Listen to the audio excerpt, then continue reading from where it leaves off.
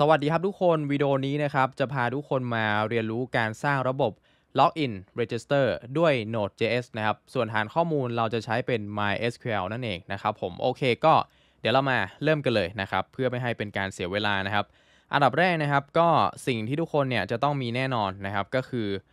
Node.js นะครับอะตรงนี้ใครที่ยังไม่ได้ติดตั้งนะฮะก็ไปติดตั้งก่อนนะครับก็ ดาวน์โหลดนะครับเข้ามาที่เว็บไซต์ nodejs.org นะครับแล้วก็มาดาวน์โหลดได้เลยนะฮะหลังจากดาวน์โหลดเสร็จก็กดติดตั้งแล้วก็ next next next อย่างเดียวเลยนะครับ ทีนี้ส่วนต่อไปนะครับก็คือ ผมจะให้ทุกคนเนี่ยมาสร้างนะครับตัวโฟลเดอร์ project นะอะตรงนี้ทุกคนจะไปสร้างที่ไหนก็ได้เดี๋ยวผมจะไปสร้างที่โฟลเดอร์ dev นะครับ แล้วก็ไปสร้างโฟลเดอร์นะครับ ชื่อว่า nodejs-login system แล้วกันอ่านะครับแล้วก็ลากโฟลเดอร์เนี่ยเข้ามาใน VS Code เลยนะครับโอเค ทีนี้ส่วนต่อไปนะครับทุกคนก็คือ เดี๋ยวเราจะมาที่ view นะครับ แล้วก็มาที่ terminal นะฮะเราจะมีการใช้คำสั่งตัวนี้ก่อนเพื่อติดตั้ง package json file นะครับ ก็คือใช้คำสั่ง npm i อ่าจริง ๆ ไม่ใช่นะครับ npm init อ่า dash y นะครับ ถ้าเป็น npm i เนี่ยก็คือจะเป็นการ ติดตั้งแพ็กเกจต่างๆนะอะโอเคก็ enter ไปเลยนะครับ นี่นะฮะ ทุกคนก็จะเห็นว่ามันจะมีการสร้างตัว package.json file มาตามนี้เลยนะครับอะทีนี้ส่วนต่อไปนะครับก็คือเราจะมาติดตั้ง package หรือว่า dependencies ต่างๆ ที่จำเป็นในการพัฒนาแอปพลิเคชันของเรานะครับ ก็ใช้คำสั่ง npm i นะครับ แล้วก็จะมีตามนี้เลยนะครับ เดี๋ยวให้ทุกคนพิมพ์ตามเลย ก็คือตัวแรกเนี่ยจะเป็น express นะครับ ตัวที่ 2 ก็คือเป็น express dash session นะครับ ตัวที่ 3 ก็คือจะเป็น mysql นะครับ ตัวที่ 4 จะเป็น nodemon นะครับ ตัวที่ 5 จะเป็น ejs นะครับอ่าจะเป็น template engine นะครับ ที่เราจะใช้กันอ่าในโปรเจกต์นี้นะฮะ แล้วก็ตัวที่เท่าไหร่แล้ว 1 2 3 4 5อะตัวที่ 6 นะครับ ก็คือจะเป็น body parser นะครับ แล้วก็ตัวที่ 7 นะครับ จะเป็น bcrypt JS นะครับอ่าตามนี้เลย dependencies ของเรานะครับ enter ไปอ่าตรงนี้ก็รอติดตั้งสักครู่หนึ่งนะครับ ก็จะใช้เวลา 3 วินะนะครับแป๊บเดียว โอเค ทีนี้ส่วนต่อไปนะครับก็คือ เดี๋ยวให้ทุกคนเนี่ยมาสร้างโฟลเดอร์นะครับอ่าก็มาคลิกตรงนี้แล้วก็มาสร้างโฟลเดอร์นะครับ ชื่อว่า public นะครับ จากนั้นจะมีโฟลเดอร์นะครับ อีกตัวหนึ่งก็คือเป็น views นะครับอ่าแล้วก็มาสร้างไฟล์นะครับ ชื่อว่า app js นะครับโอเคนะครับ ก็จะมีตามนี้เลยนะครับ ทีนี้นะครับส่วนต่อไปก็คือ เดี๋ยวให้ทุกคนนะฮะมาที่ app.js นะครับ ก็คือเดี๋ยวเราจะมีการ require ตัว package หรือว่า dependencies ของเราเข้ามานะครับอะตรงนี้เดี๋ยวผมจะซูมเข้ามาให้นิดนึงนะเผื่อโค้ดมันตัวเล็กไปนะครับ โอเคก็ตัวแรกเลยนะครับก็คือจะเป็น express นะครับ ก็จะ require มา express นะครับ ตัวที่ 2 ก็คือจะเป็น mysql require mysql เข้ามานะครับ ตัวที่ 3 ก็เป็น bcrypt นะครับอ่า bcrypt แล้วก็ require bcrypt js เข้ามานะครับ ตัวที่ 4 จะเป็น session นะครับ เราก็จะ require อ่าเป็น express session เข้ามา ตัวที่ 5 นะครับ ก็คือจะเป็น body parser นะครับ แล้วก็จะ require ตัว body parser เข้ามา แล้วก็สุดท้ายครับจะเป็น path นะครับ require path นะครับ จริง ๆ มีอีกตัวหนึ่งนะนะครับ ก็คือ อะ เดี๋ยวจริง ๆ ครบแล้วนะครับ ทีนี้ต่อไปนะครับก็คือเราจะมีการสร้างตัวแปรชื่อว่า app นะครับ แล้วก็เราจะเรียกใช้ express นะนะครับ ตามนี้เลยนะฮะ จากนั้นส่วนต่อไปก็คือเดี๋ยวผมจะให้ทุกคนเนี่ยมาทำการ เชื่อมต่อกับฐานข้อมูลนะ ซึ่งตรงนี้นะครับจริงๆผมเนี่ยใช้เป็นตัวนี้นะครับ ทุกคนก็คือจะเป็น Laragon นะครับ อันนี้ผมก็แนะนำทุกคนนะเดี๋ยวก่อนแป๊บหนึ่งนะฮะ อ่าโอเค ซึ่งมันจะเป็นอ่าตัวจำลองเซิร์ฟเวอร์นะครับ อ่าผมใช้เป็นตัวนี้นะ จริง ๆ ทุกคนจะใช้เป็นอาจจะใช้เป็นอ่า MySQL ก็ได้นะครับเออ My จริง ๆ มันจะเป็นตัว MySQL Workbench นะครับ หรือว่าใช้เป็น XAMPP เป็น WAMP เป็นอะไรก็ได้นะนะครับ แต่ผมใช้เป็น Laragon นะครับ ซึ่งก็นี่เลยเดี๋ยวผมมาที่ฐานข้อมูลนะครับอะเดี๋ยวผมลากมาที่นี่ก่อนโอเค จากนั้นเนี่ยนะครับให้ทุกคนมาสร้างนะครับสร้างฐานข้อมูลนะชื่อว่า node js underscore login แล้วกันนะครับ แล้วก็ collation เนี่ย เราจะเลือกเป็น utf 8 mb4 general ci นะครับ อ่าเป็นตัวนี้นะ ก็กด create เลยอ่าทีนี้ครับมันจะมีตารางนะครับผมตารางที่เราจะสร้างนะก็คือหลักๆจะมี 4 คอลัมน์นะครับ เดี๋ยวตั้งชื่อตารางก่อนตรงนี้ก็คือเป็น users number of columns นะครับก็คือ 4 กด create เลยอ่าทีนี้ครับเราก็มาตั้งชื่อ field หรือว่าชื่อคอลัมน์นะตัวแรกเป็น id นะครับใช้เป็น int นะครับ length ไม่ต้องใส่นะ ส่วน index นะครับก็มาเลือกที่ primary นะครับ ด go ไป แล้วก็มาติ๊กที่ AI ด้วย ก็คือ auto increment นะครับ อ่า จากนั้นฟิลที่2นะครับ ก็คือจะเป็นชื่อนะนะครับ ผมก็ใส่เป็น name นะฮะ อันนี้เป็นวาชานะครับ อ่า แล้วก็ name เนี่ยผมเอาเป็น 100 แล้วกัน นะฮะ length นะ จากนั้นนะครับก็คือผมจะมีอีเมล อ่า อันนี้เป็นวาชานะครับ เป็น 100 เช่นกัน แล้วก็จะมีในส่วนของ password นะครับ อันนี้ก็เป็นวาชานะครับ อันนี้ผมจะเอาเป็น 255 นะ length นะครับ โอเค ก็ตามนี้นะครับทุกคนก็กดเซฟได้เลยปึ๊บ อ่า เราก็จะได้นะครับ เป็น อ่า ตัวตาราง node.js login นะครับ แล้วก็ users นะครับ โอเค อ่า ฐานข้อมูล node.js login แล้วก็ตาราง users นะครับ แต่ทีนี้จริง ๆ เนี่ย อ่า เดี๋ยวผมลบตัวนี้ทิ้งไปแล้วกัน เพื่อไม่ให้สับสนนะ อ่า เดี๋ยวผมดรอปตัว node.js db ทิ้งไปนะครับ ให้มันเหลือแค่ไอตัว node.js login ตัวเดียวเห็นไหมนะครับโอเคนะครับ ทีนี้ส่วนต่อไปนะครับก็คือเดี๋ยวให้ทุกคนเนี่ยกลับมาที่ app.js นะครับ ก็คือเดี๋ยวเรามาทำการเชื่อมต่อฐานข้อมูลนะครับตรงนี้ผมคอมเมนต์ไว้ให้นิดนึงว่าเป็น mysql connection นะครับ เราก็จะสร้างตัวแปรนะครับ db แล้วก็เราจะดึงตัว mysql package มา แล้วก็เรียกใช้ method นะครับ create connection จากนั้นเนี่ยเราจะมีการส่งค่าไปก็คือที่ object ตัวนี้นะครับ เราก็จะมี host นะฮะ เป็นอ่า local host นะ เดี๋ยวผมใช้เป็น single quote แล้วกันพิมพ์ง่ายดี อ่า local host นะครับ user นะครับ ก็อันนี้ผมใช้เป็นอ่า laragon เนี่ยก็ใช้เป็น root นะนะครับ แล้วก็ password password จริง ๆ ไม่ต้องใส่นะครับ โอเค แล้วก็ฐานข้อมูลนะฮะ ฐานข้อมูลก็ชื่อว่า node.js underscore login อ่าโอเคนะครับ อันนี้ก็เป็นการเชื่อมต่อนะครับโอเคก็คือใส่ข้อมูลในการเชื่อมต่อ จากนั้นเนี่ยเราจะมาเชื่อมต่อก็คือนำตัวแปร db มาแล้วก็เรียกใช้ method connect นะครับ มันจะมีการรับ parameter มา 1 ตัว แล้วก็อ่า return นะครับอ่าจากนั้นเนี่ยเราจะมีการเช็คนะครับว่าถ้าเกิดมี error นะครับ ก็คือมีอะไรผิดพลาดผมก็จะ throw error เลย แต่ถ้าไม่มีอะไรผิดพลาดเราก็จะมีการใช้ console.log นะครับ แล้วก็เขียนว่า mysql connected จุดๆอ่าประมาณนี้นะครับ ทีเนี้ยเราลองมา run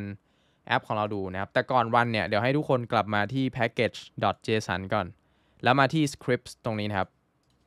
อ่าให้ทุกคนพิมพ์ comma ตรงนี้นะ แล้วก็มาเพิ่ม script นะครับ เป็น def นะ แล้วก็เราจะมีการเรียกใช้ nodemon นะครับ nodemon เนี่ยมันจะเป็นแพ็กเกจที่มันจะไป run ตัวไฟล์ app.js นะครับ ก็คือทุกครั้งที่มีการเปลี่ยนแปลงโค้ดเนี่ย ตัวแอปมันก็จะมีการ restart ใหม่ทุกครั้งนะครับ ซึ่งมันก็จะสบายมากในการพัฒนาแอปของเรานะครับอะก็เราจะเรียกใช้ nodemon แล้วก็ให้มันไป watch นะครับ หรือว่าไปดักดักจับนะครับ ไป listen ตัวไฟล์ app.js นะครับ เพื่อดูการเปลี่ยนแปลงของโค้ดนะฮะ ถ้าเมื่อไหร่ก็ตามเรามีการเปลี่ยนแปลงปุ๊บก็ให้มัน restart นะครับ อ่าโอเค ตามนี้เลยกดเซฟไป ทีเนี้ยก็ให้ทุกคนนะครับมาที่ terminal นะ แล้วก็สามารถใช้คำสั่งนะครับ npm run dev ได้เลย enter ไป อ่า เห็นไหมทุกคนก็จะเห็นว่า nodemon เนี่ย มันก็จะมีการ watching นะครับ ตัวไฟล์ที่เรากำหนดก็คือเป็น app.js นะครับ นี่เห็นไหมนะฮะ starting node app.js นะครับ แล้วก็ทุกคนจะเห็นว่ามันจะมีข้อความ mysql connected นะครับ ก็คือตามนี้เลย ตรงนี้จะหมายถึงว่าเราเนี่ยเชื่อมต่อฐานข้อมูลได้แล้วนั่นเองนะครับ อ่า โอเคนะครับ ทีนี้ส่วนต่อไปนะครับก็คือ เราเนี่ยจะมา set up นะฮะ ตัว middleware นะครับ อ่า อันนี้สำคัญมากนะฮะ ตัวแรกเลยก็คือเราใช้ app.use นะครับ อ่า แล้วก็ผมจะเซตในส่วนของ body parser .url encoded นะครับ จะเซตเป็น extended ก็คือเป็น false นะนะครับ ตรงนี้ถ้าให้อธิบายง่ายๆนะครับก็คือ เราเนี่ยจะมีการเซตนะครับตัว URL encoded เป็น false ใช่ไหมฮะ ก็คือ ตรงเนี้ยเราจะใช้ในการแปลงข้อมูลที่ส่งมาจากฟอร์ม ก็คือเป็นรูปแบบ URL encoded เนี่ยนะครับ ให้มันสามารถใช้งานในรูปแบบของ JavaScript Object ได้นะครับผมอ่าก็คือเราเนี่ยจะไม่ใช้ข้อมูลที่มันเป็นอ่าโครงสร้างแบบซับซ้อนนะนะครับผมอ่าก็ตามนี้เลยนะครับ ทีนี้ส่วนต่อไปนะครับก็คือเราจะมีการใช้ app.use นะครับ แล้วก็ใช้ body parser json นะครับ ตรงเนี้ยก็คือเราจะยอมรับข้อมูลที่มันเป็น JSON เท่านั้นนะนะครับอ่าแล้วก็ใช้ app.use นะครับ ตัวเนี้ย ก็คือเราจะมีการใช้ express.static แล้วก็ใช้ path join นะฮะ ตามด้วย dir name แล้วก็ folder public นะครับ ซึ่งโค้ดตรงนี้ก็คือเราเนี่ยจะมีการเซตตัว static folder ก็คือจะเป็นโฟลเดอร์ public ตัวนี้นะครับ ซึ่งโฟลเดอร์ public เนี่ย มันจะเป็นโฟลเดอร์ที่เราจะเอาไว้ใส่พวกไฟล์ต่างๆ อย่างเช่น รูปภาพ หรือว่าไฟล์ CSS อะไรพวกนี้นะนะครับ จะเป็นไฟล์อะไรก็ได้ เวลาที่เราจะเข้าถึงในแอปพลิเคชันของเราก็คือ เราจะเข้าถึงผ่านทางตัวโฟลเดอร์ public ตัวนี้นะครับอ่าโอเคนะทีนี้นะครับตัวต่อไปก็คือเราจะมีการใช้ app.use แล้วก็มีการเรียกใช้ session นะครับอ่าเพราะว่าในการทำ login register system เนี่ยก็คือมันจะต้องมีการเก็บ session ใช่ไหมนะครับ ก็ตามนี้เลยเรียกใช้ session นะครับ แล้วทีเนี้ยเราจะมีการกำหนดตัว secret key นะ อันนี้เรา ใช้เป็นอะไรก็ได้ ผมใช้เป็น node secret แล้วกัน โอเคนะฮะ แล้วก็เราจะกำหนดนะครับ ในส่วนของ resave เนี่ยเป็น false นะครับ แล้วก็ save อ uninitialized นะครับ ก็คือเราจะกำหนดเป็น true นะ ตามนี้เลยนะครับผม ตรงนี้นะครับ เดี๋ยวผมมาอธิบายในส่วนของ resave กับ save un- uninitialized นิดหนึ่งนะครับ ก็คือไอตัว resave ที่เรากำหนดเป็น false เนี่ย มันจะหมายถึงว่าเป็นการป้องกันการบันทึกเซสชันที่ไม่ได้มีการเปลี่ยนแปลงนะครับ แล้วก็ตัว save uni- อ่า uninitialize เนี่ยนะครับก็คือจะเป็นการบันทึกเซสชันแม้ว่าจะยังไม่มีข้อมูลนะครับอ่าลิ้นพันนิดนึงนะนะครับโอเค จากนั้นนะครับส่วนต่อไปก็คือจะเป็นในส่วนของการอ่าเซตนะครับตัว template engine นะนะครับก็คืออ่าเดี๋ยวผมคอมเมนต์ไว้ก่อน ก็จะเป็น set อ่า EJS as template engine นะครับ ก็เราจะใช้ app.set นะครับกำหนด view engine นะ ให้เป็น EJS นะครับ ซึ่ง EJS เนี่ย มันจะเป็น template engine ลักษณะมันจะคล้ายๆกับ PHP นะนะครับ ก็คือเราจะเอาไว้แสดงค่าต่างๆ ที่หน้าเว็บของเรานะครับ ยกตัวอย่างเช่นเรามีการเอาผลลัพธ์จากฐานข้อมูลมาแสดงอะไรเงี้ยนะครับ อ่าเราก็ใช้เป็น template engine EJS ตัวนี้ ซึ่ง จะเป็นตัวที่ยอดนิยมมากๆนะครับในการที่เราทำแอปด้วย Node.js เนี่ยเขาก็จะนิยมใช้เป็นตัวนี้นะครับ โอเคก็ประมาณนี้นะครับ ทีเนี้ยหลังจากเราเซต middleware อะไรเสร็จเรียบร้อยปุ๊บเนี่ยนะครับ เดี๋ยวเรามาทำหน้าแรกกันก่อนก็คือใช้ app get นะครับ จริง ๆ ตรงนี้มันก็คือจะเป็น browse นะอ่าผมจะอ่าคอมเมนต์ไว้ให้นิดนึงว่าเป็น browse นะครับ ซึ่งหน้าแรกก็คือเป็น slash นะครับ ก็จะมีการรับ request response มา จากนั้นผมจะให้มัน render หน้า index นะ ก็คือใช้ response object render แล้วก็เราจะ render หน้า index นะครับ ซึ่งเดี๋ยวเราไปสร้างที่โฟลเดอร์ views นะครับ อ่า จากนั้นเนี่ยก็คือ เดี๋ยวผมจะทำอันนี้ต่อก็คือจะเป็นในส่วนของอาการใช้นะครับ app.listen ที่พอร์ต3,000 นะครับ ตรงนี้ก็คือเราจะเป็นการกำหนดว่าเราจะให้แอปพลิเคชันของเราเนี่ย มันรันอยู่ที่พอร์ต อะไรนั่นเองนะครับ ก็ผมกำหนดตามนี้เลย listen ที่พอร์ต3,000 แล้วก็จะมี console log นะครับว่า server is running อะโอเคประมาณนี้นะครับทุกคนเนี่ยก็จะเห็นว่าจะมีข้อความขึ้นมา ทีเนี้ยลองมาเปิดแอปของเรานะครับ ก็คือเราจะไปที่ localhost port 3000 enter นะครับ ทุกคนจะเห็นว่ามันจะมี error ตัวนี้ขึ้นมาเห็นไหม error failed to look up view index in views directory นะครับ ก็คือตรงเนี้ยเรายังไม่ได้สร้างตัว index นะนะครับ อ่า เดี๋ยวเรามาสร้างกันนะครับ ก็ให้ทุกคนเนี่ยมาคลิกขวาที่โฟลเดอร์ views นะครับ แล้วก็สร้างนะครับเป็นไฟล์ index.ejs อ่า นะครับ ทีเนี้ยลองมา refresh ดูนะครับ ทุกคนจะเห็นว่า error มันหายไปแล้ว เห็นไหมอ่า นะครับ ทีนี้ที่หน้า index เนี่ยก็เดี๋ยวให้ทุกคนนะครับวางโครง html ตามนี้เลยนะครับ แล้วก็เดี๋ยวผมจะเขียนตรงนี้ว่าหน้า index นะครับผม โอเค จากนั้นเนี่ย เดี๋ยวผมจะมีการลิงก์ตัว css เข้ามานะ ก็เดี๋ยวให้ทุกคนไปสร้างโฟลเดอร์ที่โฟลเดอร์ public นะครับ คลิกขวา new folder สร้างโฟลเดอร์ชื่อว่า css นะครับ แล้วก็ข้างในโฟลเดอร์ตัวเนี้ย คลิกขวาที่โฟลเดอร์ css นะครับ แล้วก็ new file เราจะสร้างไฟล์ main.css นะครับ อ่าแล้วก็ทีนี้กลับมาที่ index.ejs เวลาที่เราจะเข้าถึงตัวโฟลเดอร์ css เนี่ยจำได้ไหมฮะว่าเรามีการเซตตัวอ่า static file หรือว่า static folder เนี่ยก็คือเป็นตัว public folder ใช่ไหมตัวนี้ ซึ่งเวลาที่เราจะเข้าถึงอย่างเช่นอ่า css ในโฟลเดอร์ css เนี่ยเราไม่ต้องแบบเข้าถึงแบบนี้นะฮะ แล้วก็โฟลเดอร์ css แล้วก็ main.css ใช่ไหมแต่ว่าเราสามารถทำแบบนี้ได้เลยก็คือ slash ตามด้วยชื่อโฟลเดอร์ อ่าโฟลเดอร์ css เห็นไหม แล้วก็ slash main.css อ่าแบบนี้นะครับ เพราะว่าเรามีการเซตโฟลเดอร์ public ตามนี้แล้วนะฮะ อ่าโอเคนะ ทีเนี้ยนะครับที่หน้าแรกเนี่ย เราจะทำอะไรก็คือเดี๋ยวให้ทุกคนนะครับ สร้าง nav ขึ้นมา แล้วก็จะมีโลโก้นะ อ่าก็พิมพ์ตามเลยนะครับ แล้วก็จะมี UL มีคลาสเป็นเมนูนะฮะ เดี๋ยวโลโก้นี้เดี๋ยวผม สร้างแท็ก A ขึ้นมากำหนดเป็น slash ก็คือหน้าแรกนะครับ ก็เขียนว่า node.js login โอเค จากนั้นที่ UL นะครับ ก็เดี๋ยวเราสร้างนะครับตัว li ขึ้นมานะครับ แล้วก็เราจะมีแท็ก A นะครับ ตรงนี้เดี๋ยวผมจะกำหนดให้มันไปที่ path หรือว่าหน้า login นะครับ ก็จะเขียนว่า login copy มาอีกตัวหนึ่ง อันนี้จะเป็น register นะครับ ไปที่ register อ่า แล้วก็ด้านล่าง nav นะครับ ให้ทุกคนสร้าง class container ขึ้นมา แล้วก็มี h1 นะครับ เขียนว่า welcome to อ่าเดี๋ยวก่อนเขียนผิดนะฮะ welcome to the index page นะครับผม โอเค อะ ก็ลองนะครับมา refresh หน้าแรกเห็นไหม ทุกคนก็จะได้ลักษณะตามนี้นะครับ แต่ทีนี้นะครับมันจะมีในส่วนของ css นะ ก็เดี๋ยวเรามาเขียนเพิ่มเติมกันไปที่ main.css นะครับ อันดับแรกเดี๋ยวผมมา reset ตัว margin เป็น 0 padding เป็น 0 นะฮะ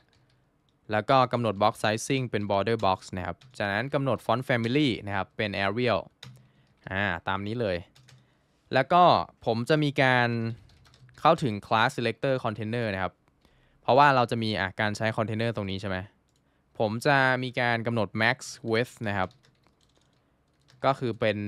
1,170 พิกเซลนะความกว้างแล้วก็จัดกึ่งกลางด้วย margin 0 auto นะครับแล้วก็มี padding นิดนึง สักประมาณบนล่างเนี่ย2 rem นะครับ ซ้ายขวา 0 โอเค ลองกลับมา refresh เห็นไหมโอเคนะครับ ตัวฟอนต์ก็จะเปลี่ยนนะ ตามนี้เลย ทีนี้นะครับ ส่วนต่อไปก็คือเดี๋ยวผมเข้าถึง nav กำหนด display นะครับ เป็น flex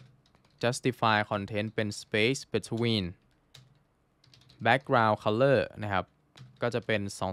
222 padding นะครับ บนล่าง 1 rem ซ้ายขวา 2 rem แล้วก็ align items นะครับ เป็น center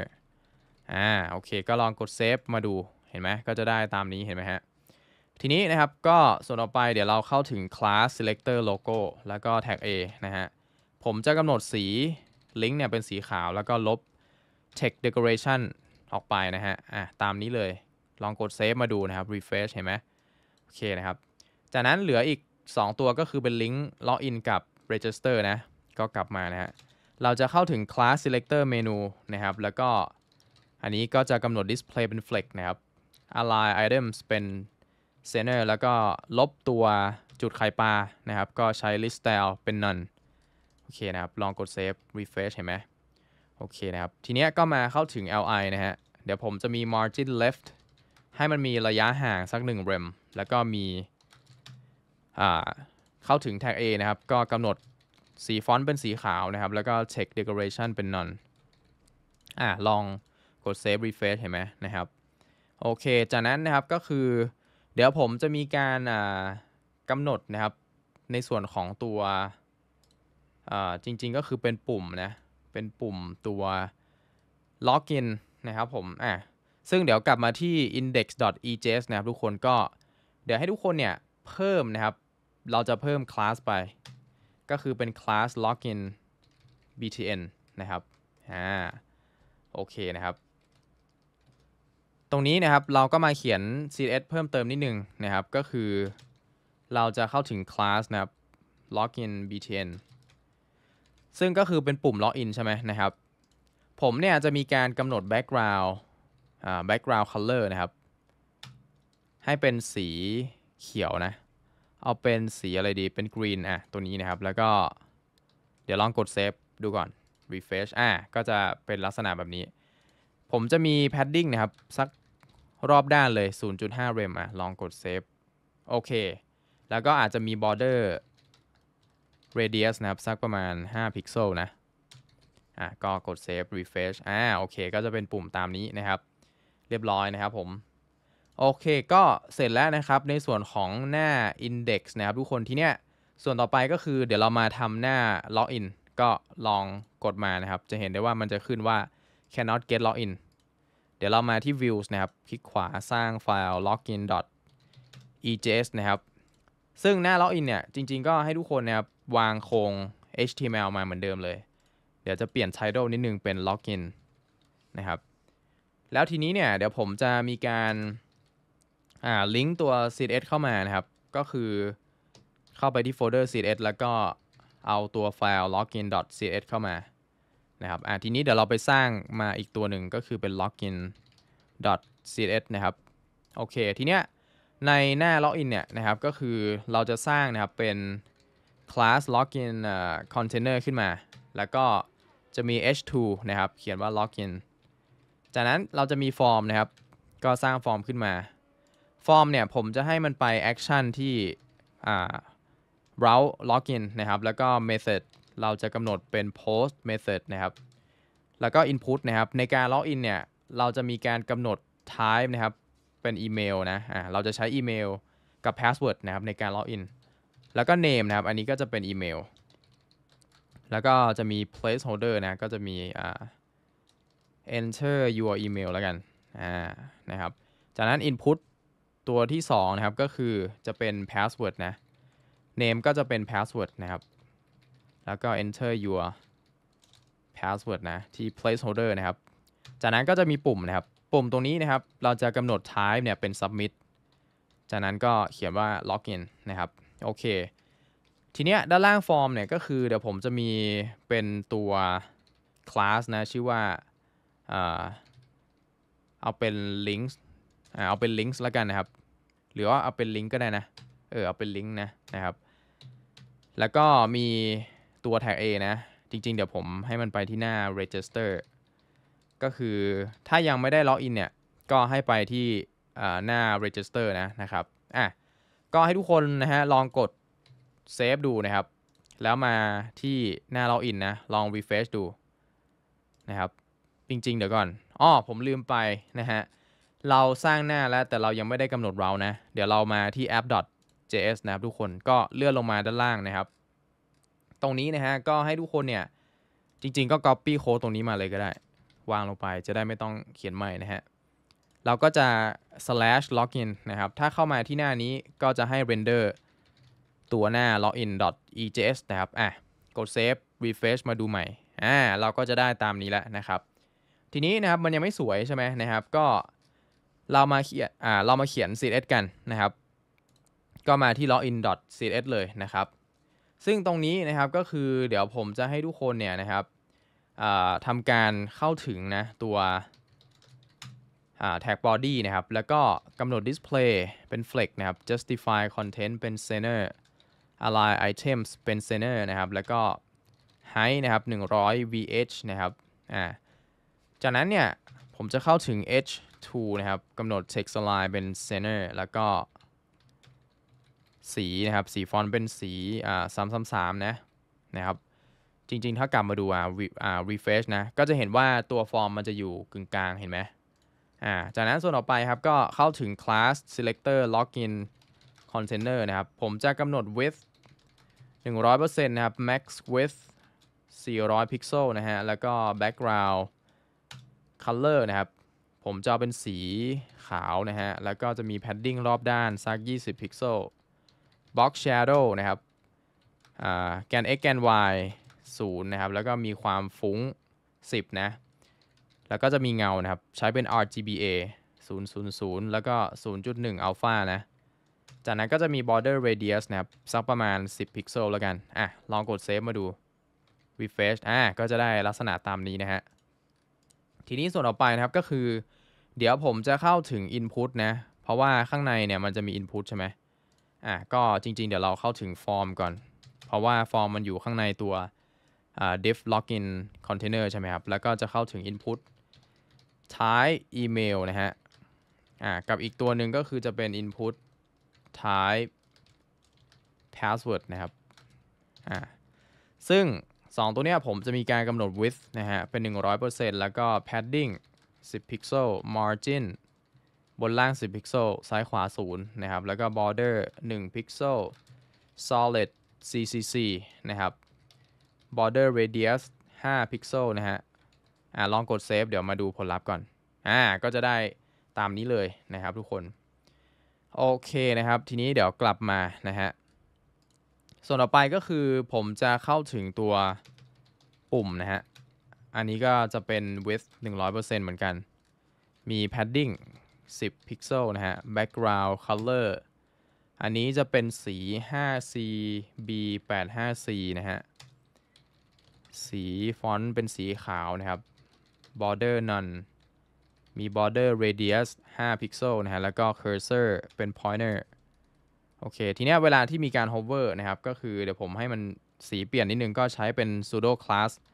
hover นะครับ เราจะเปลี่ยน background color เป็น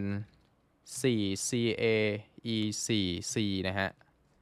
โอเคนะครับผม อะ ก็กด save ดูนะฮะ refresh อะ ก็จะได้ตามนี้ แต่ทีนี้เดี๋ยวก่อนนะครับ ก็คือ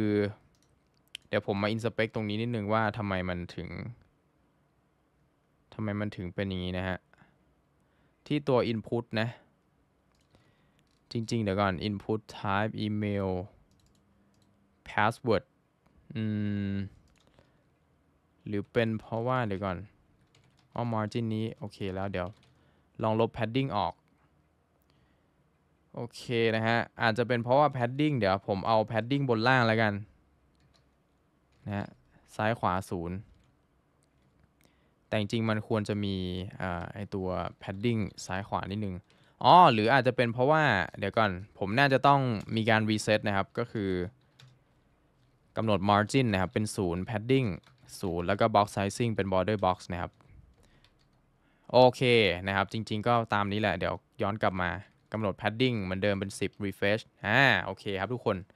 ตามนี้เลย ทีนี้นะครับก็จริง ๆ มันจะมีไอตัว font family ด้วยใช่ไหมเอาเป็น Arial แล้วกันอ่า refresh นะครับตามนี้เลย ทีนี้นะครับก็เหลืออะไรก็คือจะเป็นตัว link ใช่ไหมอ่าที่ตรงนี้นะครับมันจะมีลิงก์อยู่จริง ๆ ผมเปลี่ยนเป็นอันนี้ดีกว่าเป็น login link นะเออนะครับก็จะอยู่ข้างใน login container นะครับ เราก็จะมาอ่ามาเข้าถึงต่อจากตรงนี้เลย ก็จะเข้าถึง login link นะครับ ซึ่งผมเนี่ยก็จะมีการกำหนด text align เป็น center นะครับ แล้วก็ margin top สัก 10 pixel แล้วก็จะเข้าถึง tag A นะครับ สีก็จะเป็นสีนี้นะ นะฮะ อ่า สีฟอนต์นะครับ จากนั้นนะครับก็คือ อ่าเดี๋ยวก่อนผมเขียนผิด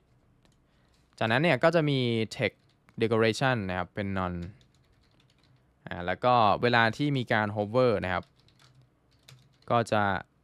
ใช้ text decoration เนี่ยเป็น underline อะกด save นะครับ มาดู refresh อ่า ก็จะเป็นลักษณะตามนี้เลยนะครับ โอเคนะครับทุกคนเรียบร้อยนะครับ ทีนี้นะครับจริงๆเนี่ยเราจะทำอีกหน้าหนึ่งนะก็คือหน้า register ลองคลิกมาอะมันยังไม่มีใช่ไหมก็เดี๋ยวไปสร้างไฟล์นะครับ ชื่อว่า register EJS นะครับ แล้วก็จริงๆเนี่ยทุกคนสามารถ copy โค้ดทั้งหมดจาก login เนี่ยมาเลยนะครับ มาวางที่หน้า register แล้วก็ ผมจะไปสร้างไฟล์ที่ CSS นะครับ ก็คือ register css อ่า แล้วก็ copy เหมือนกันครับ ที่หน้า login อ่าโค้ด css นะ มาที่ register แล้วก็วางลงไปนะครับ แต่ทีเนี้ยเราจะเปลี่ยนนิดนึงก็คือ เดี๋ยวมาที่หน้า register.ejs ก่อน จาก login เนี่ย เราจะเปลี่ยนเป็น register นะฮะ แล้วก็ตรงนี้ด้วยนะ เปลี่ยนปุ๊บนะครับอ่า action ไปที่ register นะครับ ซึ่งหน้า register เนี่ย เราจะเพิ่ม input มา เพิ่มนะฮะ ก็คือเพิ่มอีกตัวหนึ่ง เพราะว่ามันจะมีชื่อด้วยใช่ไหม ก็ copy input ตัวนี้มาวางด้านบนนะฮะ ท้ายก็จะเป็น text name เป็น name นะฮะ placeholder ก็คือ enter your name อ่า แล้วก็ที่ตรงนี้ครับ อันนี้เปลี่ยนเป็น register link อันนี้เราจะให้มันไปที่หน้า login แล้วก็เขียนว่า go to login ในกรณีที่แบบเรามีอ่าบัญชีหรือว่ามี สมาชิกแล้วใช่ไหมอะแล้วก็ปุ่มครับอะเกือบลืมเปลี่ยนเอาเป็น register นะโอเคนะครับทุกคนประมาณนี้ทีเนี้ยกลับมาที่ register.cs นะครับ ตรงนี้ก็แค่มาเปลี่ยนชื่อนะครับอะเปลี่ยนชื่อตรงนี้เป็น register แล้วก็ copy มา จริงๆเนี่ยเราเพิ่มไปอีกตัวหนึ่งเพราะมันจะมี input อ่า type text ด้วยนะฮะ โอเคนะครับ แล้วก็มีในส่วนของตัว login link เนี่ยเปลี่ยนเป็น register link นะครับ อะก็ลองกด save นะครับ มาดู refresh ตรงนี้อะผมลืมอีกแล้ว อันนี้ขออภัยครับ เพราะว่าเรายังไม่ได้สร้าง route นะ มาที่ app.js นะครับ ก็เหมือนเดิมเลย เราก็จะสร้างนะครับ copy มา อันนี้เราจะให้มันไปที่หน้า register นะครับ แล้วก็เราจะ render หน้า register อะ ตามนี้ครับ refresh อ่า โอเค เห็นไหม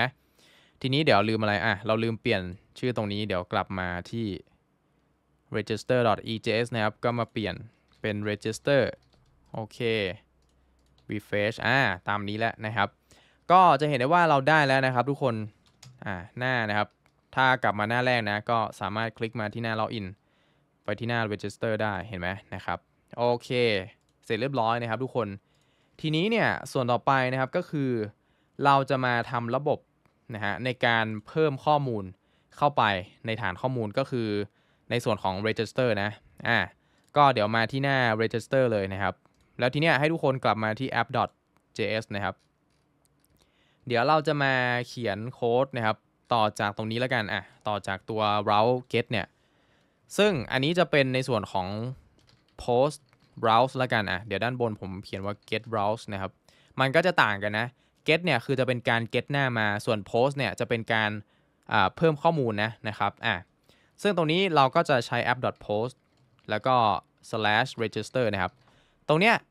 ก็คือถ้าทุกคนกลับมาที่หน้า register.ejs เนี่ย ทุกคนจะเห็นว่า form เห็นไหม สังเกตนะว่า action เนี่ยมันจะไปที่อะไรครับ มันจะไปที่ browse หรือว่า path register method เป็น post นะ ก็คือตามนี้เลยนะครับเนี่ย เรามีการกำหนดเป็น post method เวลาที่ form เนี่ยมันมีการ action หรือว่า submit มาปุ๊บ มันก็จะยิง request มาที่ browse ตัวนี้นะครับ อ่า โอเคนะ แล้วก็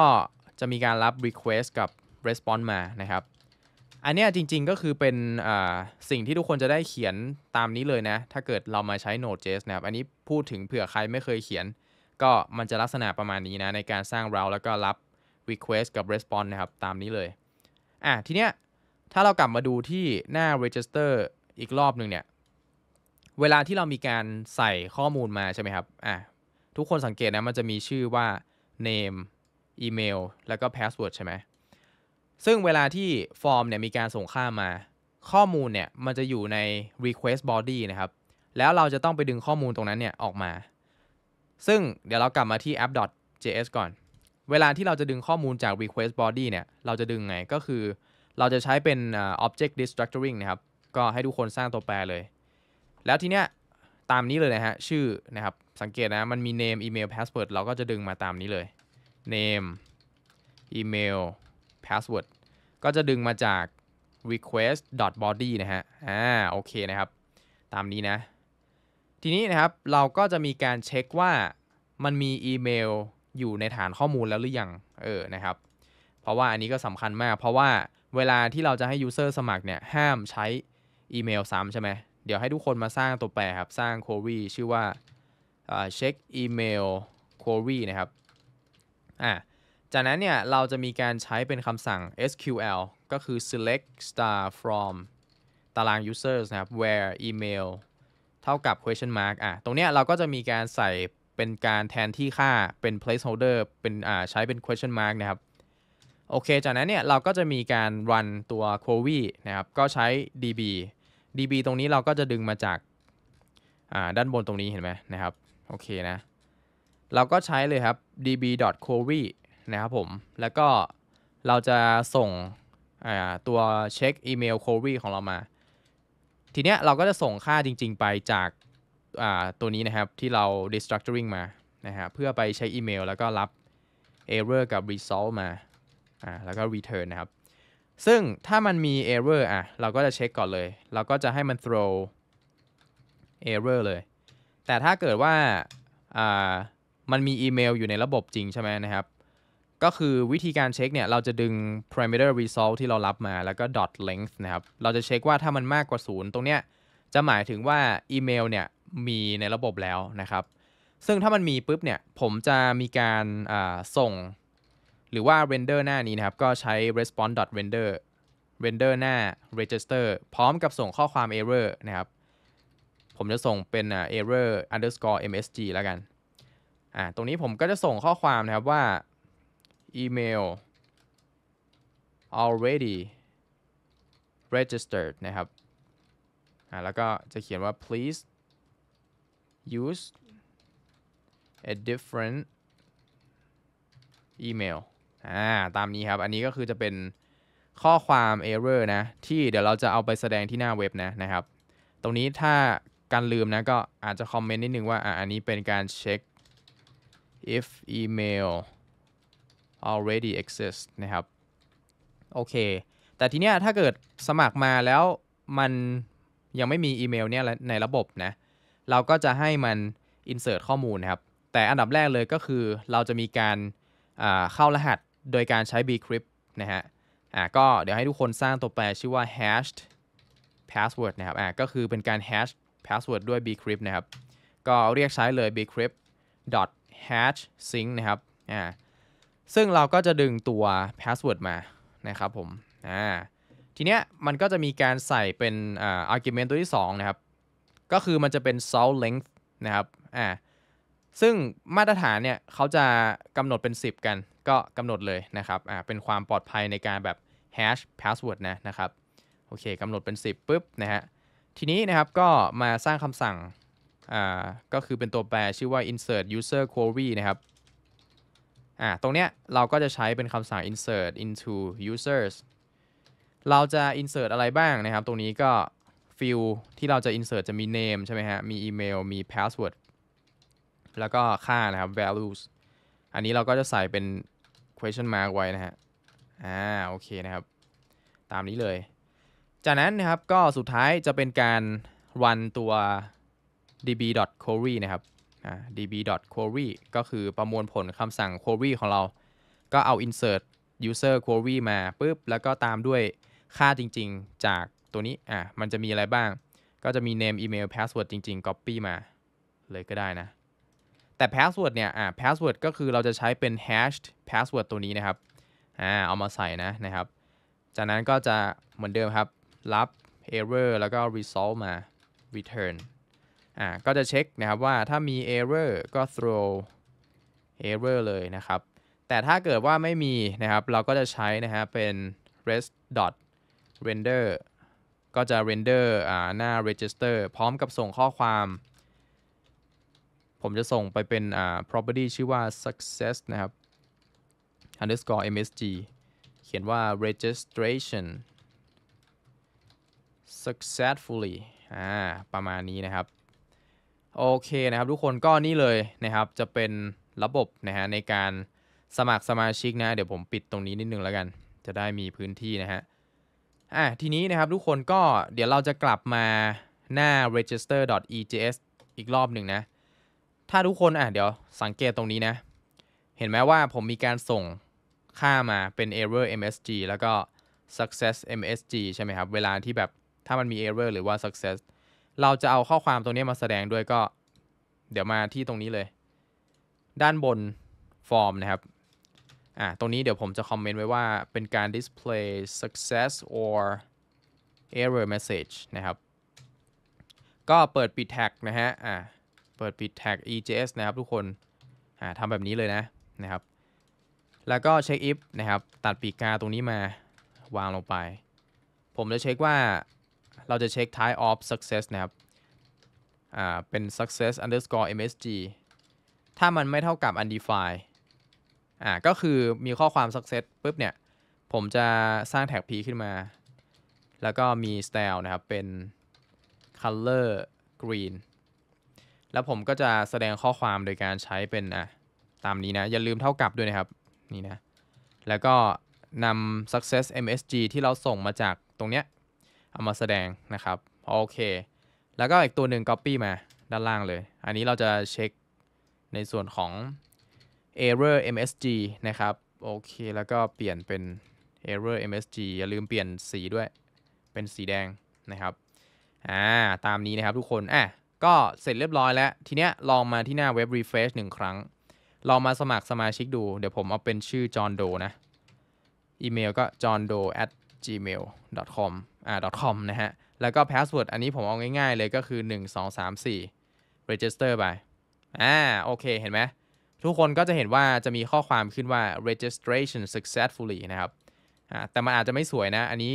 จริงๆ ทุกคนอาจจะไปปรับอะไรเพิ่มก็ได้ แต่ผมทำง่ายๆ ตามนี้แล้วกัน โอเคนะครับ ก็ตรงเนี้ยจะเห็นได้ว่าเราสมัครสมาชิกได้แล้ว ลองมาเช็คที่ฐานข้อมูลครับ มากดที่ตาราง users นะอ่าทุกคนก็จะเห็นนะครับว่า ก็จะมี user นะครับ ตามนี้เลยอ่าโอเคนะครับ ทีเนี้ยอ่าลองมาทดสอบอีกอย่างหนึ่งก็คือการสมัครโดยใช้อีเมลซ้ำอะลองเหมือนเดิมเลยผมใช้เป็น john doe 2นะครับ แล้วก็ใช้ john doe อีเมลซ้ำนะ password 1 2 3 4อ่า ลองสมัครดูปุ๊บ นี่เห็นไหมทุกคนก็จะเห็นว่าจะขึ้นนะฮะ เป็นข้อความ error ว่า email already registered please use a different email ตามที่เรามีการเขียนตรงนี้เลยนะครับ เป็น query ในการเช็คเห็นไหมตรงนี้นะฮะ อ่า โอเคนะครับ อ่า ก็เรียบร้อยแล้ว ระบบในการอ่าสมัครสมาชิกนะครับทุกคนอ่าทีนี้ส่วนต่อไปก็คือเราจะมาทำนะครับการล็อกอิน เดี๋ยวเรามาที่ go to login เลย อ่าโอเคนะครับ ซึ่งในการล็อกอินนะครับก็คือ เดี๋ยวจะให้ทุกคนนะครับกลับมาที่ app.js เหมือนเดิม แล้วก็ด้านล่างเลยอ่าด้านล่างจะอ่าต่อจาก register นะครับ ก็ใช้ app.post นะฮะอ่าโอเค เราก็จะให้มันกำหนดอ่าเป็น route login นะครับ รับ request กับ response มา โอเค ทีนี้ในการล็อกอินนะครับ จริง ๆ มันก็จะคล้าย ๆ กัน คืออันดับแรก เราจะมีการดึงค่าจาก Input จากฟอร์มใช่ไหมอะเดี๋ยว Copy มา แต่เราจะดึงมาแค่อีเมลกับ Password นะครับ เพราะว่าถ้าเรากลับมาดูที่หน้าล็อกอินเนี่ย จะเห็นได้ว่ามันจะมีอะไรฮะ มันจะมีในส่วนของอ่าอีเมลกับ Password ใช่ไหม Input 2 ตัว โอเคนะฮะ อะ ก็ดึงมาจาก Request Body ทีนี้นะครับก็สร้างคำสั่งเลยก็คือ ผมจะเอาเป็นคำสั่ง SQL แล้วกันอะตัวแปรนะครับ แล้วก็ใช้ select star from users นะครับ ก็ไปเลือกข้อมูลทั้งหมดจากตาราง user ที่อีเมลมันเท่ากับ question mark อ่า แล้วก็ใช้ db.query นะครับ ส่ง SQL มา แล้วก็ส่งค่าอีเมล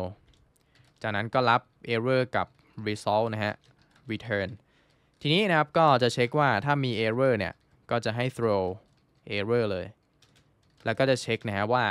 ตรงเนี้ยผมจะเช็คว่าถ้าเกิดว่ามันมีข้อมูลที่มันตรง ตามที่เรากรอกมานะครับในการล็อกอินเนี่ยเราก็จะเช็ค result length นะครับถ้ามันมากกว่า 0 ก็คือแปลว่ามีข้อมูลใช่ไหมผมจะเข้าถึงข้อมูล user โดยการสร้างตัวแปร user มา แล้วก็นำ result มาเข้าถึง index 0 จะหมายถึงว่าเข้าถึงข้อมูลตัวนั้นนะครับโอเค ทีเนี้ยก็จะมีการเช็คนะฮะว่าถ้าเกิดมีข้อมูลเสร็จปุ๊บเนี่ยผมจะเช็ค password ด้วย ก็คือ password ที่เรากรอกมาเนี่ยมันตรงกับ password ที่เรามีในระบบหรือเปล่านะครับ ก็เราจะใช้ bcrypt compare sync นะฮะอ่าแล้วก็ส่ง password ที่เรากรอกมาจาก input ไปเปรียบเทียบกับ user password ในระบบอ่านะครับผม โอเคทีเนี้ยซึ่งถ้ามันตรงกันทั้งอ่ามีข้อมูลอีเมล แล้วก็ password มันตรงกันปุ๊บเนี่ยผมจะมีการสร้าง session user ขึ้นมา ก็เราจะใช้ request object session user เลยอ่านะครับเป็นการสร้าง session ขึ้นมาแล้วก็เก็บ user ไว้ข้างใน session ตัวนี้เห็นไหมนี่นะฮะ จากนั้นเนี่ย หลังจากเรามี session ปุ๊บ ผมก็จะให้มัน redirect นะฮะ ก็คือใช้ response dot redirect ไปที่หน้า home เลย อ่า นะครับ โอเค แต่ถ้าเกิดไม่ได้มีข้อมูลตรงนะ ผมก็จะให้ response dot render ก็คือ render ที่หน้า login เหมือนเดิม แล้วก็ตามด้วยส่งข้อความ error message นะครับ ส่งว่าอ่า incorrect จะใช้เป็นอะไรดี incorrect password แล้วกัน อ่า นะครับ password โอเค แล้วก็ตรงนี้เราจะมีการ else อีกรอบหนึ่งนะครับ ก็คือการเช็คข้อมูลตรงนี้ ก็ใช้ response dot render หน้า login เหมือนเดิม นะฮะ อ่า นี้ก็จะเป็น error message นะครับ ก็จะเขียนว่า user not found โอเค ตามนี้เลยนะครับทุกคนอะก็เรียบร้อยนะเรามา refresh รอบหนึ่ง ทีนี้เดี๋ยวผมให้ทุกคนเปิดตัว dev tool ขึ้นมาก็คือคลิกขวา inspect นะครับ แล้วไปที่ application นะ ตอนเนี้ยอะ ทุกคนมาดูนะครับ เดี๋ยวผมจะอ่าถ้าใครขึ้นแบบนี้นะ ผมจะให้ทุกคนเนี่ยล้างไอ้คลิกตรงนี้ล้างทิ้งไป เออ แต่จริงมันก็จะขึ้นมาอยู่ดี อ่าไม่เป็นไรแล้วกันนะครับ เพราะว่ามันจะเป็นอ่าตัวเซสชันที่มันถูกสร้างขึ้นมานะนะครับผมตรงนี้ อะ ไม่เป็นไร ซึ่งเราก็จะมาลองล็อกอินดูนะครับ ถ้าเกิดว่าได้เนี่ย จะไปที่หน้า Home ใช่ไหมเดี๋ยวเรามาสร้างหน้า Home กันไว้ก่อนแล้วกัน ก็มาที่โฟลเดอร์ views นะครับ มา new file ชื่อว่า home.ejs แล้วก็วางโครง html มาเลยนะครับ title ผมก็จะเขียนว่า home นะฮะ แล้วก็ link เราจะเข้าถึงตัวโฟลเดอร์ css แล้วก็ main.css นะครับ ซึ่งหน้า home เนี่ย ผมก็จะมีนะครับ nav นะ จริงๆ nav ทุกคนไปก๊อปจาก index มาเลยก็ได้นะ จะได้ไม่ต้องเขียนใหม่นะครับก๊อปมาเลย อะ โอเคนะครับ แล้วก็พอเข้ามาที่หน้า home เนี่ย ผมจะให้มันมีแค่ปุ่มในการล็อกเอาท์นะ เออ ก็ ลบตัวนี้ทิ้งไป แล้วก็เดี๋ยวผมจะเปลี่ยนจาก login btn เนี่ย ให้เป็น log out btn นะครับ แล้วก็จะเขียนที่ตรงนี้ว่าเป็น log out อ่านะครับ ปุ่มก็เขียนว่า log out โอเคนะนะครับผม จากนั้นนะครับเราเนี่ยก็จะมีการเอาชื่อมาแสดงนะ แต่เดี๋ยวค่อยทำแล้วกันอะเอาเป็นว่าเราจะต้องเข้ามาที่หน้าโฮมได้หลังจากที่เราล็อกอินก็มาเทสระบบกัน refresh นะนะครับ ก็ลองใส่เลย john doe at gmail นะฮะ password 1 2 3 4 ใช่ไหมล็อกอินอ่านะครับ จริงๆก็คือได้นะ แต่ว่าผมลืมอีกแล้ว อันนี้ขออภัยนะครับ ผมลืมที่ไปสร้างเรานะ เดี๋ยวกลับมาที่ app js อีกรอบหนึ่งนะครับ เดี๋ยวให้ทุกคนมาด้านบนนะ ในส่วนของ get browse เนี่ยนะครับ ก็เดี๋ยวเราจะมานะครับทำการใช้ app get home นะนะครับ ซึ่ง home เนี่ย เดี๋ยวเราก็จะมีการรับ request response มาก่อน จริง ๆ เดี๋ยวเราจะต้องมีการสร้าง middleware มาเช็คนะครับว่ามีการล็อกอินเข้ามาจริงหรือเปล่า แต่ตอนนี้เดี๋ยวเอาแค่นี้ก่อน ก็ผมจะใช้ response render นะครับ ก็คือ render หน้า home นะ โอเค ตามนี้ก่อนนะฮะ อะ ประมาณนี้ก็กด save นะครับทุกคน แล้วลองมา refresh อีกรอบหนึ่งอะทุกคนก็จะเห็นว่าหน้า home ก็จะได้ประมาณนี้แหละ เห็นไหม แต่ทีนี้ปุ่ม log out เดี๋ยวจริง ๆอะ ผมไปที่ main.cs ก่อนนะครับ ที่เมนูนะ จริง ๆ เดี๋ยวผม copy ตัวนี้มาอีกตัวหนึ่ง ผมจะเปลี่ยนสีเป็นสีแดงนะครับ ทีนี้สีฟอนต์เอาเป็นสีขาวนะฮะ แล้วก็ อ่า จริง ๆ ฟอนต์เป็นสีขาวอยู่แล้ว ลืมไป แต่ว่าตรงนี้เราจะเปลี่ยนเป็น log out กด save ลอง refresh ดู อ่า โอเค มันจะได้ปุ่ม log out มานะครับ เห็นไหม โอเคนะครับ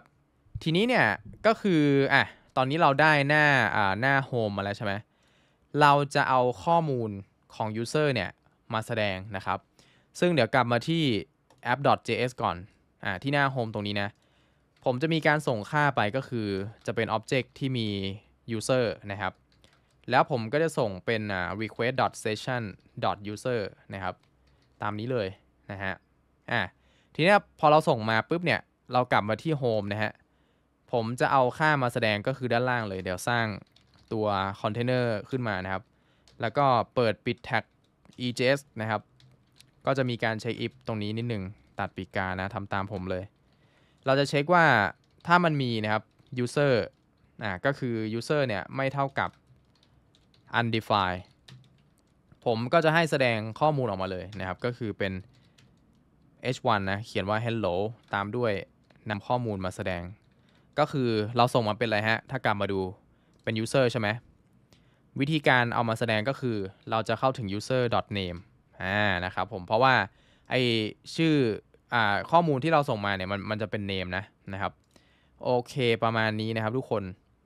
อะเอ้ยจริง ๆ เดี๋ยวไม่ใช่ ไอข้อมูลที่เราส่งมาจริง ๆ มันก็คือเป็นข้อมูล user นั่นแหละ แต่ว่าทีเนี้ยไอข้อมูลที่เราจะเอามาแสดงเนี่ยก็คือเป็นชื่อนะ เข้าถึง name เข้าถึงชื่อนะครับ แล้วก็จะมี tag p เนี่ย เราจะเขียนว่า welcome to the home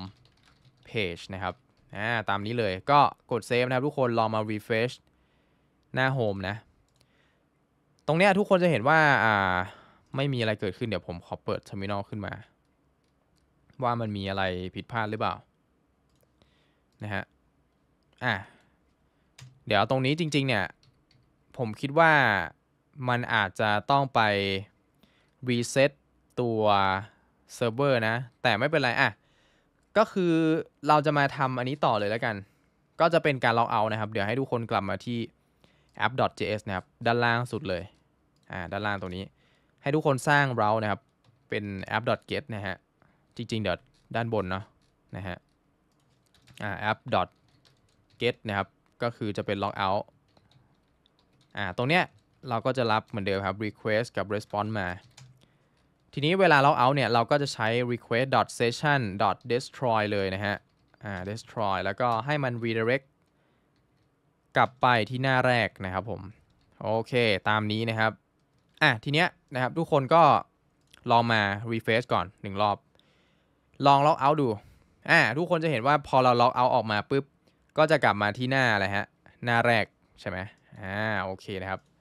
เรียบร้อยนะครับผมอะทีนี้นะครับส่วนต่อไปก็คือ เดี๋ยวผมเนี่ยจะให้ทุกคนนะครับมาทำการสร้างนะครับในส่วนของ middleware นะแต่จริงๆเดี๋ยวก่อนเราไปสร้างผมขอทดสอบอีกรอบหนึ่งอะก็คือมาที่ login เพราะว่าหลังจากเรา login เนี่ยหน้าโฮมของเราก็คือมันจะมีการแสดงชื่อใช่ไหมครับอะเราลองมาอีกรอบหนึ่งนะ johndoe at gmail com 1 2 3 4 login อ่าโอเค ตอนนี้ทุกคนจะเห็นว่า ก็คือมีชื่อมาแล้วเห็นไหมนะครับ ชื่อ John Doe จริงๆเนี่ยทุกคนสามารถหลอกค่าได้นะ ก็คือเดี๋ยวไปที่ app.js ก่อนอ่าก็คือจะเป็นตรงนี้นะครับอ่าในส่วนของเดี๋ยวผมจะหลอกตรงไหนดี เดี๋ยวก่อนนะ ในการที่เรามาที่หน้า home ใช่ไหมมาที่หน้า home ก็หลอกตรงนี้เลยแล้วกันนะครับทุกคนอ่าใช้ console.log นะครับ แล้วเราก็จะเอาตัว request session user เนี่ยมาหลอก ออกมาที่ console ที่หน้า home เลยอะก็ลองกด save ดูนะครับทุกคน ทีเนี้ยอ่าลองมา refresh นะ จริง ๆ ถ้าเรามา refresh เนี่ย จะเห็นได้ว่ามันจะอ่าคือทุกครั้งที่เรามีการแก้โค้ดที่เซิร์ฟเวอร์เนี่ย มันจะ restart ใหม่นะอ่าเดี๋ยว log out ออกมา ลอง log in ใหม่อีกอ่าอีกรอบหนึ่งนะครับอ่าใส่ไปปุ๊บนะครับ โอเค อะ ลองกลับมาดูที่ VS Code อ่า ทุกคนจะเห็นว่าตรงเนี้ยคือเรามีการ log ที่เซิร์ฟเวอร์นะ มันจะ log มาที่ Terminal นะครับ เห็นไหมว่าค่าเนี่ย ก็จะถูก log ออกมาเป็น Object นะครับ นี่ ค่าที่อยู่ข้างใน Request Session User เนี่ย เห็นไหมนะครับ เห็นไหมอ่า ซึ่งถ้าเรามาดูที่ Home เนี่ย จะเห็นได้ว่าเรามีการเข้าถึงเลยครับ เข้าถึง Name อ่า แต่เราก็สามารถที่จะเข้าถึงอีเมลได้ อย่างเช่น อ่า อีเมล อ่าอย่างเงี้ย นะครับ ก็ Copy มา วางลงไปแล้วก็เข้าถึงเป็นตัวอีเมลเห็นไหมนะฮะ ก็อ่ากดเซฟนะครับ refresh ดูหนึ่งรอบ เห็นไหมอีเมลมาแล้ว อ่า โอเคนะครับ ก็ตามนี้เลยนะครับในการแสดงค่า อะ ก็คือเสร็จเรียบร้อยนะครับทุกคน ทีนี้นะครับ ส่วนต่อไปก็คือเรามาสร้าง middleware ในการเช็คว่า user เนี่ยมีการล็อกอินจริงหรือเปล่านะครับ เพื่อป้องกันอย่างเช่นตอนเนี้ย ก็คือถ้าเกิดว่าเราล็อกเอาออก อะ เรามากดล็อกเอาออกปุ๊บ แล้วถ้าเกิดเราพยายามเข้าไปที่หน้าโฮมเนี่ยคือมันเข้ามาได้ถูกไหมแต่เราไม่ต้องการแบบนี้เราต้องการให้คนที่ล็อกอินเท่านั้นถึงจะเข้ามาที่หน้า home ได้ถูกไหมก็คือคนที่ล็อกอินแล้วมี session เนี่ยนะครับมันก็จะต้องมาสร้าง middleware นะครับในการป้องกันตรงนี้อะก็มาที่ app.js นะครับมาด้านบนเลยอ่าต่อจากตัว set EJS template engine เนี่ยเดี๋ยวเราจะคอมเมนต์นะว่าเป็น middleware to check if the user is logged in นะครับ ก็สร้างฟังก์ชันขึ้นมานะฮะ ชื่อว่า is authenticated นะครับ ก็จะมีการรับ request response แล้วก็ next ฟังก์ชันมา โอเคนะฮะ ข้างในเนี่ยเราก็จะมีการเช็คว่า ถ้าเกิดมี request session user หรือพูดง่ายๆก็คือมีการล็อกอินเข้ามาใช่ไหมฮะ เราจะ return แล้วก็เรียกใช้ฟังก์ชัน next นะฮะ ตรงนี้หมายความว่ายังไง ก็หมายความว่า ถ้า user เนี่ยมีการล็อกอินเข้ามานะครับ เราก็จะให้มันเรียกใช้ฟังก์ชัน next ก็คือทำงานต่อเลยนะครับเออนะฮะก็จะเป็นการทำงานต่อ ตรงนี้จะหมายถึงว่า เราก็จะให้มันไปที่หน้า home นั่นเองเออสามารถไปที่หน้า home ได้นะครับ แต่ถ้ามันไม่ได้มีการล็อกอินเข้ามา ตัวนี้ผมก็จะมีการเช็คว่า else นะครับอะก็คือใช้ response redirect ให้มันย้อนกลับไปที่หน้าล็อกอินก็คือคุณต้องล็อกอินเข้ามาก่อนนะฮะ